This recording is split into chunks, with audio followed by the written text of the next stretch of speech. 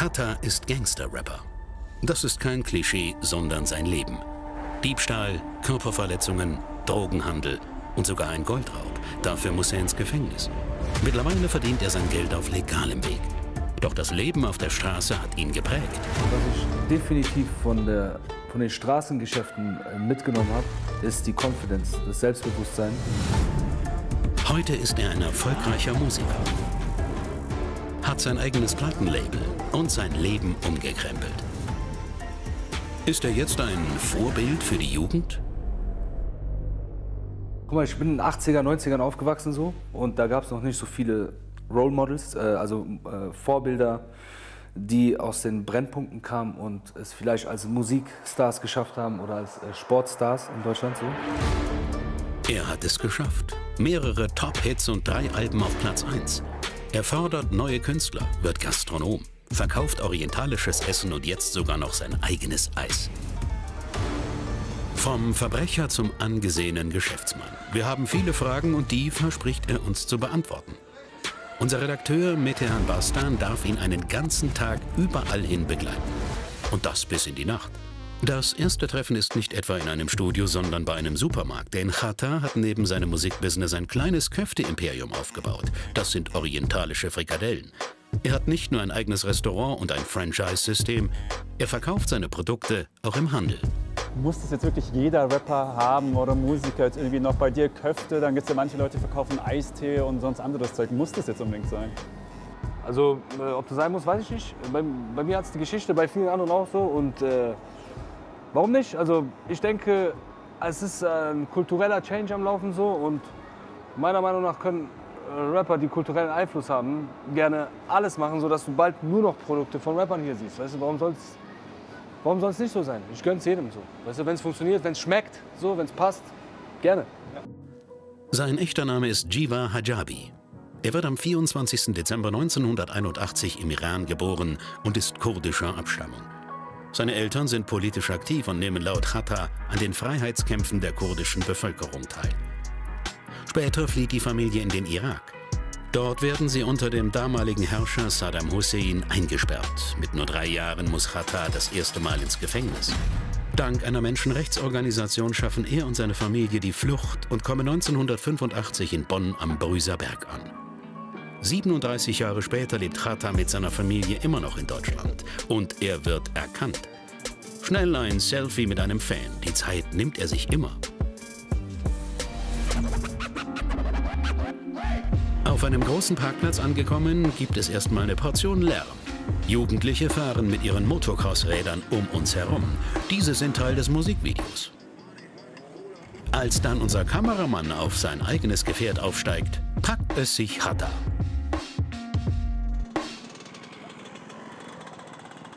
Gefällt dir das von unserem Kameramann? Äh, nee, ich, das ist nicht von ihm. Ich habe das gleiche auch. Du hast es auch? Spaß. Fast hätte er es uns abgeknöpft, aber die Zeit hat er ja hinter sich. Wir fragen einen seiner jungen Künstler, wie das Verhältnis zwischen ihm und Chata ist. Vorbildsfunktion äh, vom Rap her, von der Musik her und auch alles, was er im Business geschafft hat, das ist revolutionär für uns. Wir sind ein Teil davon. Das ist äh, nur beeindruckend. Aber der Weg dorthin ist steinig. Obwohl seine Eltern Akademiker sind und er auf das Gymnasium geht, gibt es ein Problem, das immer wieder auftritt. Fremdenfeindlichkeit und Diskriminierung. Chata wird immer der Assi genannt und entscheidet sich dazu, der Assi zu sein. Delikte wie Diebstahl oder Körperverletzungen führen dazu, dass er für drei Wochen in den Jugendarrest muss. Das zweite Mal Gefängnis, mit nur 14 Jahren. Aber das erste Mal ist es die eigene Schuld. Fragen wir mal nach, wen er für seine kriminelle Vergangenheit verantwortlich macht. Das war alles immer meine Schuld, meine eigene Schuld, weil ich es selber entschieden habe. So. Ich kann es nicht auf irgendetwas anderes schieben. Ich hatte immer die Wahl dazu und habe mich äh, oft, nicht immer, aber oft dann für den kriminellen Weg entschieden. Ähm, in manchen Momenten war es, weil es meiner Ansicht nach einfach komfortabler äh, war, wo ich dann immer eines Besseren belehrt worden, wurde. Guck mal, ich bin in den 80er, 90ern aufgewachsen so und da gab es noch nicht so viele Role Models, äh, also äh, Vorbilder, die aus den Brennpunkten kamen und es vielleicht als Musikstars geschafft haben oder als äh, Sportstars in Deutschland so. In seinen Texten und Videos verarbeitet Chata genau das, seine Vergangenheit. seine Probleme und seine Entscheidungen. Richtige, aber auch falsche. Sein erstes Soloalbum Alles oder Nix kommt auf den Index. Es darf seit 2010 nicht mehr an Personen unter 18 Jahren verkauft werden. Laut Jugendschutz ist es verrohend und ruft zur Gewalt auf. Wie steht er heute zu seinen alten Texten? Ja, ich würde auch ungern, äh, dass äh, Kinder, meine Kinder, alte Texte von mir hören, aber ich weiß, die werden es sowieso hören irgendwie. Internet vergisst nie. Aber ganz ehrlich, ich bin da schmerzfrei. Das ist halt die Wahrheit so und äh, so habe ich angefangen zu rappen. Das hat seine Gründe gehabt und das ist Rap so. Und äh, je erwachsener ich geworden bin, desto erwachsener sind die Texte geworden. Und äh, dazu stehe ich auch. Nach seiner Zeit im Jugendarrest beginnt Hatta mit dem Drogendealen. Als er wegen des Verdachts auf Drogenhandel gesucht wird, zieht er nach London und studiert ab 2005 International Business und Music Business an der Metropolitan University. 2007 kehrt Hatta nach Deutschland zurück. Sein Haftbefehl wird wegen Mangel an Beweisen aufgehoben. Ab jetzt will er mit seiner Musik durchstarten. Vom Drogendealer zum Musiker. Wir erkennen eine Parallele zum US-Rapper Jay-Z. Heute ist er einer der einflussreichsten Menschen im Musikbusiness. Er hat in seiner Jugend mit Drogen gedient und in einem Interview gab er zu, dass genau diese Zeit seinen Geschäftssinn geprägt hat. Wir fragen Chata, ob es bei ihm ähnlich ist. Was ich definitiv von, der, von den Straßengeschäften äh, mitgenommen habe, ist die Confidence, das Selbstbewusstsein, die sehr wichtig ist für das äh, richtige Geschäft in der legalen Welt, äh, weil die Angst vor ähm, Niederlagen und Insolvenzen oder Pleitegehen äh, sehr äh, signifikant sein kann, sehr entscheidend für dein Handeln generell. Anfangs ist Hip-Hop Szenemusik für bestimmte Gruppen und für die ist es eine Ausdrucksmöglichkeit. Heute ist es Mainstream. Das zeigen die Zahlen. Waren es 2010 nur knapp unter 2%, hatte 2020 Hip-Hop in Deutschland einen Anteil von 18,6% am Gesamtumsatz der Musikindustrie. Nach dem Dreh geht es zurück zu seinem Label. Und auch das gehört zum Geschäft dazu. Neues Outfit und die Orga der nächsten Tage. Wann kommt das Video? Wann kommt Sonntag, Sonntag. Welches Video noch von Timo? Timo, Wo ich drin bin. Genau, wo heute der Videodreh ist. Dann zu den Filmrechten. Wer von unseren Künstlern hat alles Musik in diesem Film? Sio, Qatar, Eva? Eva. Ähm, wie, hält, wie hältst du das ganze Zeug in deinem Kopf eigentlich? Ich halte es gar nicht über den Kopf, Bro. Gar nicht. Gar nicht. Also das hat jetzt vier Wochen gedauert, bis wir dieses Gespräch haben. Genau, deswegen wir müssen auch äh, einmal kurz nur das einmal zwischen, genau, mit David sind wir jetzt durch, genau. Wir warten, bis das Meeting zu Ende ist und wollen dann von Khatas Kollegen wissen, wie schwer es ist, ihn zu erwischen. Man muss sehr ehrgeizig sein ne, und da sehr hinterher sein, aber äh, mit, dem, mit dem richtigen Ehrgeiz und der richtigen Strategie kriegt man den guten Mann auf Er jeden kann Fall. das. Er ist einer der wenigen, der das kann. Die anderen haben zu viel. Hartnäckig bleiben und äh, es gibt auch keine Limits beim Anrufen. Also wer nach zweimal anrufen denkt, ah, jetzt rufe ich lieber nicht an, der liegt auf jeden Fall falsch. Also nach 12, 13 Mal kriegt man den auch ans Telefon. Ne? Heute hat er ein Team, das ihn unterstützt. Anfangs ist das anders. Obwohl es im Jahr 2009 musikalisch gut läuft, häuft er eine Menge Schulden an. Dazu geht ein Drogendeal schief. Deswegen entschließt sich Hatta zu einem spektakulären Raub. Und dieser macht ihn weit über die Landesgrenzen hinaus bekannt. Er überfällt zusammen mit weiteren Personen einen Goldtransporter. Sie verkleiden sich dabei als Polizeibeamte der Steuerfahndung. Und die beiden Fahrer schöpfen viel zu spät einen Verdacht. Ihre Beute soll ca. 1,8 Millionen Euro wert sein. Nach dem Raub setzt sich Hatta nach Afghanistan ab. Dort nimmt ihn aber der dortige Geheimdienst fest. 2010 kommt es zu seiner Auslieferung nach Deutschland. 2011 legt er ein Geständnis ab und wird im selben Jahr am 21. Dezember zu acht Jahren Haft verurteilt. Am 5. Dezember 2014 wird er vorzeitig aus dem Gefängnis unter anderem wegen guter Führung entlassen. Ein Teil der Beute fehlt bis heute. So sagt er es dem Gericht und auch uns. Und jetzt geht es schnell weiter. Es gibt noch ein Fotoshoot für sein neues Eis. Das hatte er zunächst in Brennpunkten verteilt als Charity-Aktion für die Jugendlichen dort. Und auch für ihn ist das wichtig, den Kontakt zu seiner Basis nicht zu verlieren. Es ist sehr wichtig, immer wieder was zurückzugeben. Und denn, denn ich war auch mal, äh, also ich hatte auch meine Zeit, meine Kindheit, meine Jugend, wo ich da war im Ghetto und, äh, oder in einem sozialen Brennpunkt und Menschen gesehen habe, die vielleicht was geschafft haben, gar nicht so medienmäßig, aber sonst was geschafft haben. und äh, nicht zurückgeguckt haben und nicht wiedergekommen sind, um vielleicht mal zu sprechen, um vielleicht mal zu erklären, ey, der Weg geht oder so.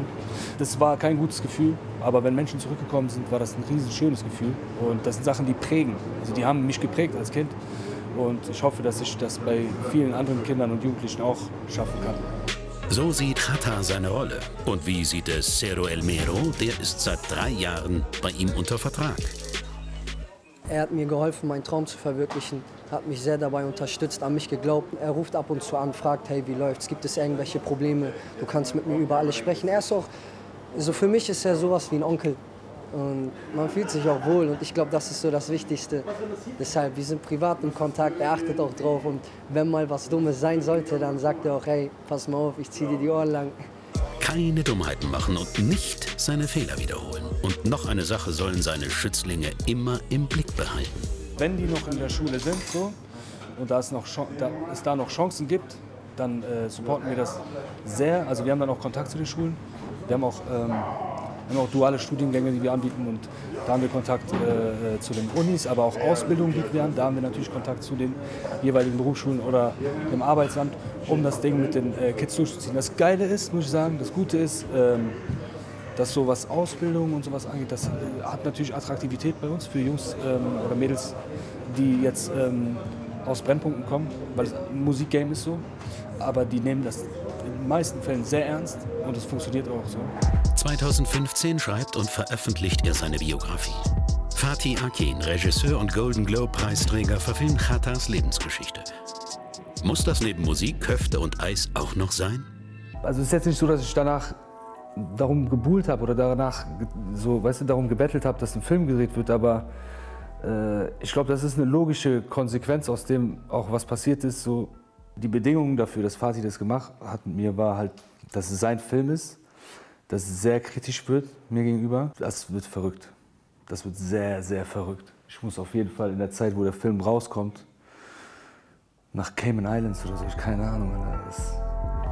Rheingold heißt der Film. Oktober kommt er in die Kinos und laut Chata sollen Geheimnisse zum Goldraub ans Licht kommen. Und jetzt zurück zum Label. Chata lädt uns zum Essen ein. Es steht zwar alles bereit, aber er besteht darauf zu servieren. Momentan ist kein Musikgenre in Deutschland so erfolgreich wie Hip-Hop. 2021 besteht die Top 5 der meistgehörten männlichen Künstler auf Spotify nur aus Deutschrap. Die Atmosphäre bei Chata und seinem Label wirkt eher freundschaftlich und familiär. Ist das Teil des Konzepts oder birgt das Probleme? Ja, also das ist ein schwieriges Thema. Ich habe mit der Zeit gelernt, ähm, Family geht auch, also Freunde oder man wird zu Freunden oder man ist schon äh, sehr lange befreundet und macht Business. Das Wichtige ist, dass man das Business klar und deutlich ausspricht. ausspricht. Wenn man nur sagt, okay, ey, wir sind Freunde, wir machen das schon irgendwie und dann wird man voll erfolgreich zusammen, dann fangen oft die Differenzen an. Aber wenn man irgendwie unter Freunden wirklich Verträge macht, wo aufs Detail alles irgendwie besprochen ist, das sind die Freundschaften, die immer geblieben sind.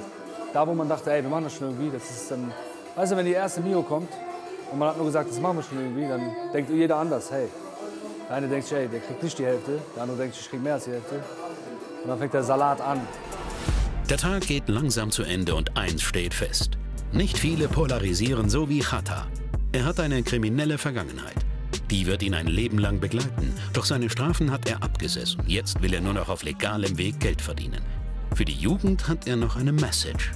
Nimm als Ziel niemals das Geld, sondern nimm das, worauf du am meisten Bock hast und das Geld wird dich irgendwann jagen. Es gibt zwar eine Abkürzung, äh, die, die kann man gehen, aber der Preis, den man dann zahlt, der ist sehr hoch.